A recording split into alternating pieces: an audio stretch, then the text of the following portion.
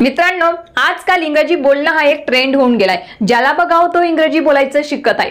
पण हो आज सध्या तर इंग्रजीला पर्सनॅलिटीला सुद्धा जोडलं जाऊ लागलाय. हो याला इंग्रजी येते ना? खूप शिकलेला असेल. याची पर्सनॅलिटी खूप छान आहे असं आपल्याला ऐकायला भेटतं. पण खरं आहे कारण इंग्रजी बोलणं हा एक दोन दिवसाचा तर खेळ नाही आहे. कमीत कमी चार सहा महिने तरी तुम्हाला इंग्रजी बोलायला द्यावेच लागतात. पण हो जर तुम्हाला वाटत असेल की मी आजपासूनच नाही तर आत्तापासून इंग्रजी बोलायची सुरुवात करावी आणि समोरच्यालाही वाटावं की याला इंग्रजी छान येते बरं का तर हो हे पॉसिबल आहे. तुम्ही हे करू शकतात. त्यासाठी मी तुमच्यासाठी काही अमेझिंग टिप्स आणि ट्रिक्स आज तुमच्यासोबत शेअर करणार आहे. त्या फक्त तुम्हाला फॉलो करायच्या आहेत. तुम्ही जर या टिप्स आणि ट्रिक्स आजपासून आत्तापासून फॉलो केल्या तर समोरच्याला वाटेल की अरे वा याला हिला खूप छान इंग्रजी बोलता येते. समोरच्यालाच नाही तर तुम्हाला सुद्धा फील व्हायला लागेल. तुमचा सुद्धा कॉन्फिडंट वाढायला लागेल. तर सुरुवात करूया आजच्या व्हिडिओला लगेच. मी आहे शीतल आणि तुमचे खूप खूप स्वागत आहे शीतल द रीडर या चॅनलवरती तर मित्रांनो मी माझ्या लाईफमध्ये खूप सारे असे लोक बघितले आहेत की ज्यांना इंग्रजी येत नाही. ते खूप मोठे मोठे बिझनेसमॅन आहेत खूप मोठे मोठे जॉब करत आहेत पण त्यांना इंग्रजी बोलता येत नाही. खूप प्रोफेशनल लोक आहेत पण हे सगळं असून सुद्धा समोरच्या व्यक्तीला कळतही नाही की या व्यक्तीला इंग्लिश येत नाही असं. कुणीही ओळखू शकणार नाही की यांना इंग्लिश येत नाही. तर यामागचं राज काय आहे? तेच मी तुमच्यासोबत शेअर करणार आहे.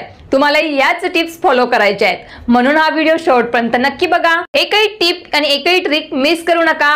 आणि बघा कसा तुमचा हळूहळू इंग्रजी बोलायचा कॉन्फिडन्स वाढतोय ते. तर फर्स्ट आणि बेस्ट पॉइंट आहे तो म्हणजे use English with your Marathi. तर म्हणजे काय? की तुम्ही जेव्हा मराठीमध्ये बोलत असतात आपलं रोजचं जेव्हा रोजच्या जीवनामध्ये आपली मातृभाषा यूज करत असतात त्यासोबत तुम्ही इंग्लिश मिक्स करा.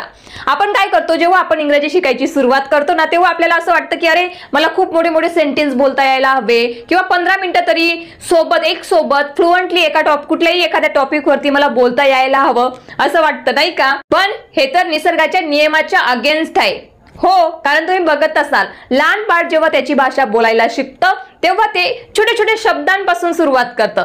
डायरेक्ट ते सेंटेन्स बोलायला लागत नाही किंवा डायरेक्ट ते गप्पा मारायला लागत नाही आपल्यासोबत. ते छोटे छोटे सेंटेन्स छोटे छोटे वर्ड्स यूज करत असतं. तर आपल्याला सुद्धा हेच करायचंय. हाच नियम इंग्लिश शिकायच्या वेळेस आपल्याला लागू करायचा आहे आपल्याला काय करायचंय? छोटे छोटे शब्द छोटे छोट्या फ्रेजेस आपल्याला आपल्या मराठी बोलताना आपल्याला ते मिक्स करायचे. जर समजा आपण असं बोलत असतो रोजच्या जीवनामध्ये अरे मी आज उशिरा उठली मला नाश्ता नाही भेटला आज नाश्ता नाही तयार होता माझी बस सुटली. तर हे तर झालं खूप नॉर्मल बोललं. पण याच ऐवजी जर मी असं बोललं अरे मला लेट झालं आज उठायला माझी बस मिस झाली आज ब्रेकफास्ट पण रेडी नाही होता या पद्धतीने. तर मी काय केलं जे छोटे छोटे वर्ड्स होते ते यूज केले. तर किती छान वाटतं ऐकायलाही आणि आपल्यालाही इंग्रजी शब्दांची आपल्या जिभेलाही सवय होते. असं म्हटलं जातं की जर आपल्याला कुठलंही एखादं मोठं काम करायचं असेल तर त्याची सुरुवात ही छोट्या गोष्टीपासूनच होते.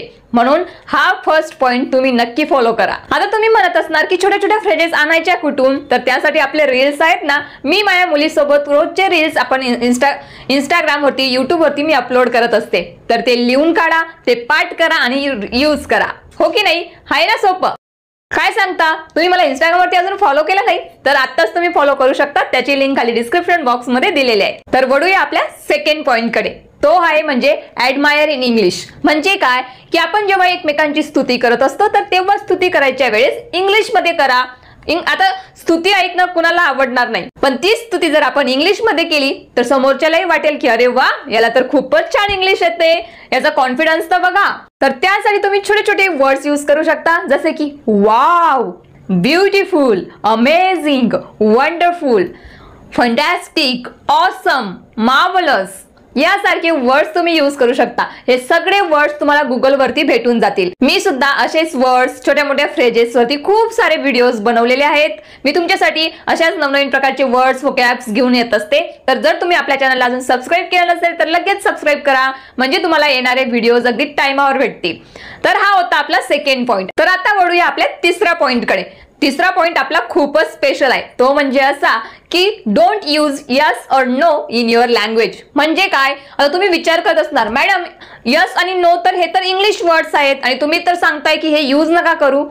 आपल्या इथं काय आहे ना आपल्याला जर कुणी इंग्लिशमध्ये आपल्यासोबत बोलायला लागलं तर आपण ते कंटाळवाने पण इथून कधी माझी सुटका होईल? अशा पद्धतीने आपण ते टाळण्याचा प्रयत्न करत असतो. यस आणि नो मध्ये आपण ते टाळण्याचा प्रयत्न करत असतो. याऐवजी आपण दुसरे वर्ड्स यूज करू शकतो इंग्लिशमध्ये जसे की no never not at all nothing या पद्धतीने तुम्ही हे वर्ड्स यूज करू शकतात. आणि जर तुम्हाला यस बोलायचं असेल तर त्याऐवजी तुम्ही बोलू शकतात yes of course sure all right या पद्धतीने तुम्ही ते वर्ड्स रिप्लेस करू शकता. तर आता आपण आलोय आपल्या चौथ्या पॉईंटकडे तो म्हणजे स्टार्ट फर्स्ट आता समजा जर आपण दोन जणांमध्ये कॉन्व्हर्सेशन होत असेल तर सुरुवात ही आपल्यापासून झाली पाहिजे कधीही.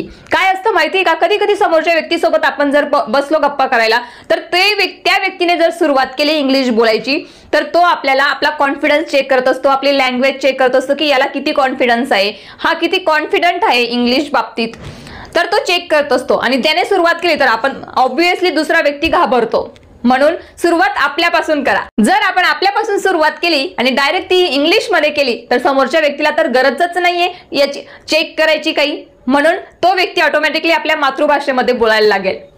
तर आहे की नाही ही अमेझिंग टिप्स जर तुम्हाला सुरुवात करायची असेल तर ती तुम्ही अशा पद्धतीने करू शकतात. Hello sir hello ma'am how are you how are you doing hi what's up या पद्धतीने तुम्ही सुरुवात करू शकतात एकदम कॉन्फिडन्समध्ये. तर या पद्धतीने कॉन्फिडेंटली सुरुवात करून तुम्ही तुमचं छाप तुमचं इम्प्रेशन दुसऱ्या व्यक्तीवरती पाडू शकतात.